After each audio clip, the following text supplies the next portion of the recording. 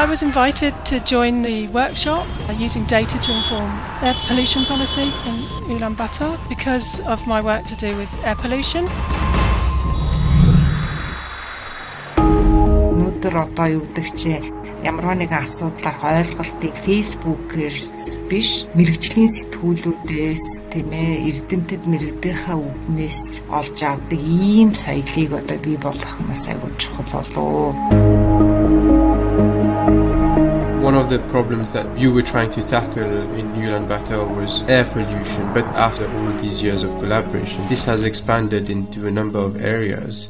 Air pollution, one, COVID, two, poverty, understanding how to measure poverty and how to kind of look at distribution of limited resources is a third area.